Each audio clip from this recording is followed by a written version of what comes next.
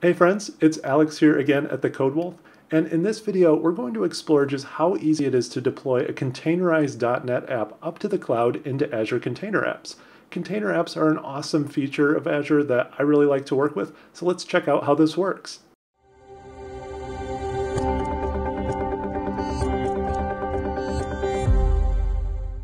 All right, so Azure Container Apps are actually a pretty awesome newer service on Azure, and they allow you to build and deploy modern apps and microservices using serverless containers.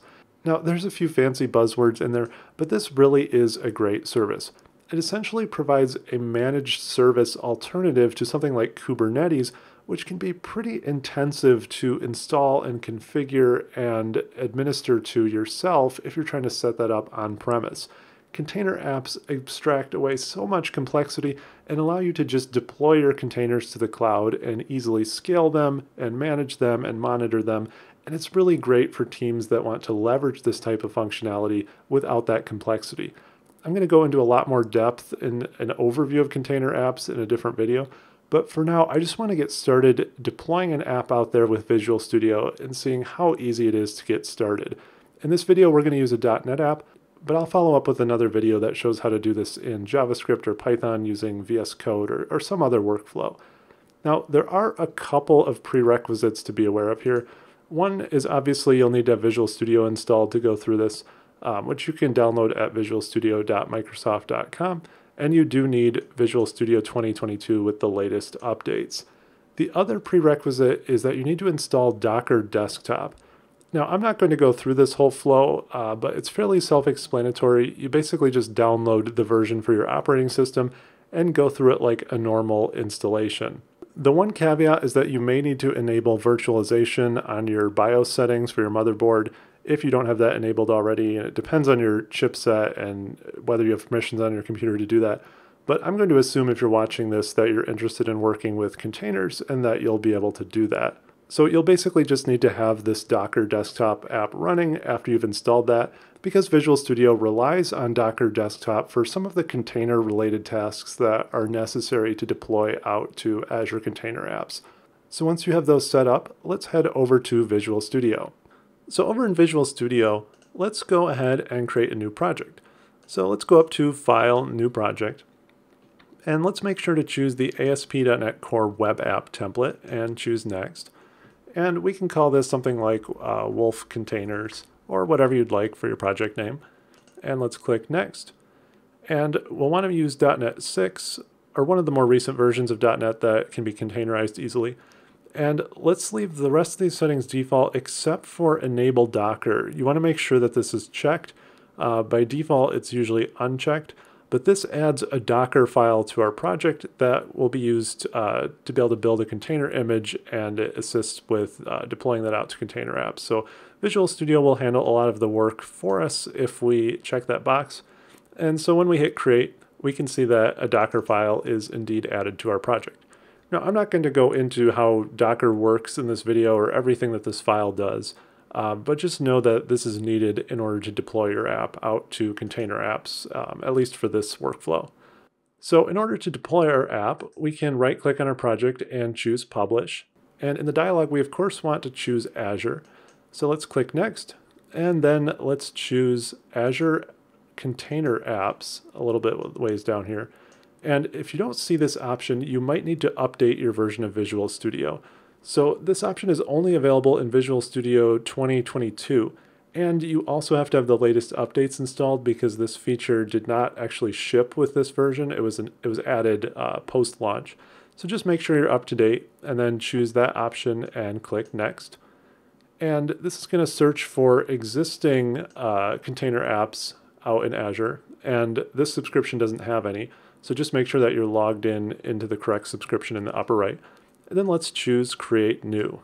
And this will open up another dialog with a variety of options here. Now I'm pretty zoomed in, so these windows are a little awkward, but um, on most computers this should work just fine. So first we have our container app name, and Visual Studio populated a lot of these values for us by default, and for the most part we can usually just kind of leave these if we're experimenting. Uh, this is close enough to what we want to name the container. But just make sure these values are right, that you've uh, chosen the right subscription, and that you've chosen the right resource group. I'm actually going to create a new resource group called uh, CodeWolf and choose OK. And I also want to change this environment location. So every container app runs in a container app environment, and this allows multiple apps to run by run side by side. And this can help with certain administrative tasks like networking and some uh, resource configurations and things like that. So I'm just going to choose new, and I'm going to change this uh, to something that's closer to me. Um, so I'll just choose Central US or something. We can also create a new Azure Log Analytics workspace. And this is just necessary for some of the, the logging and analytics for container apps, as the name implies here. And I'm also going to move that closer here. This deployment can actually take a little while, so anything that's closer to you might go a little bit faster. So then let's go ahead and click Create. Now, like I mentioned, this can take several minutes, so don't worry if this does take a bit of time. Just uh, be patient and let Visual Studio finish these tasks, and then we'll pick up when it finishes. All right, so after that finishes successfully, we'll see it in the list here in the dialog. So just make sure that that's selected and then click Next. And the last step in Visual Studio here is to create an Azure Container Registry. So a registry is where we store container images and artifacts in Azure. And this is really easy to create. So let's just click on this uh, Create New button over here. And for, again, we can mostly leave the defaults here. Um, I'm actually not going to change anything here. The, the name and the uh, resource group and everything are correct. So go ahead and create that. And this again can take a moment, but it's usually much faster than uh, the container apps was. All right, so that completed successfully as well. So just make sure that registry is selected and then click Finish. And then Visual Studio will ask us if we want to enable some uh, permissions to continue this publish. So just hit yes. And this should close when uh, the publishing profile finishes. All right, so when that finishes, Visual Studio will load this publishing profile for us. Now, a lot of developers make the mistake of thinking their app has actually been published when that dialog closes and they see this page. However, we actually have to click Publish in the upper right here for the app to be fully published out to Azure. Now, those services did get created by Visual Studio. It's just that our app hasn't actually been deployed up to that app yet. So after that completes, make sure to hit publish here, and then we'll have to wait one more time for Visual Studio to finish this process. And again, at this point, this is where you will need Docker Desktop installed, or else you'll see an error message when we try to do this publishing process. So just make sure that that's installed and running. All right, so when your publish finishes, your app should launch in the browser and we're greeted with our site. This is running in a container on container apps, and Visual Studio took care of a lot of work for us. Now, in my case, that initial publish actually took quite a while. It took a few minutes, uh, but subsequent publishes should be a bit faster. And just know that it is taking care of a lot of things for you. Um, so it just takes a moment to get all that set up. So let's explore what actually was created for us in Azure. So if we go over to our portal and search for container apps, we can see that our Wolf containers was created here. So let's click on that. And on the overview page, we can see there's all kinds of settings for container apps. And obviously this could fill many videos and go pretty in depth. For now, we're mostly interested in just a few items here. One is that you can always get back to your site by just opening up this link over on the right. And the other item I want to look at right now, we can find it down under scale. So if you remember, we talked about how container apps are serverless and easily scalable. So if we go into this page, we can see that right now we have a minimum and a maximum of one replica. So we have one container running.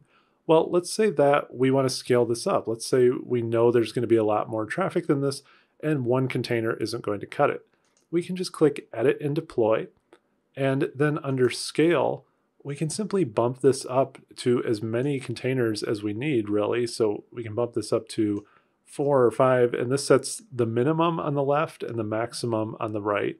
And container apps will just sort of automatically handle um, moving between that number of instances as it needs. So I'm just going to leave this at four and five and say create. And it's actually going to deploy a new revision for us as soon as we choose that option. And this part actually usually happens pretty fast. Uh, container apps can scale up and down really quickly. So let's just give that a second to finish. And we can see that did complete successfully. Now, if we go back to our overview, and if we were to launch out to our site again, Of course, this is still just going to look the same on the surface. We would need a more sophisticated app or sophisticated analytics or metrics to actually test, uh, you know, which containers are being hit and how that scaling is working and everything like that. But of course, Container Apps does have plenty of monitoring features. So we could use log streams and metrics and all kinds of options here to actually explore the behavior of those containers. But again, another video. One last item I do want to look at is the container registry. If you remember in Visual Studio, we created a registry to hold our image and the artifact for our container here. So if we go up to the search bar here and we just click down to container registries or search for it up here, but if we navigate over here, we can see we do have a container registry, so our, our Wolf containers registry. And when we navigate into that, this is another great service from Azure that will handle managing all of those artifacts and images for us. So if we were to scroll down to the repositories, we can see the Wolf containers repositories that we specified in Visual Studio. And when we click on that, sure enough, there is the latest image with our tag and the last modified date. And this is what container apps can pull from when we want to deploy a new revision. So I just want to point out that that was created and that Visual Studio completed all that work for us. I hope this has given you a good idea of just how easy it is to initially deploy this app out to container apps so that we can start messing around with some of these features and just becoming familiar with this great service. I'm going to be delivering a lot more videos on this service and how to go in more depth with this. So if you enjoyed this content, please hit subscribe, and I'll see you next time right here at the Code Wolf. Thanks again.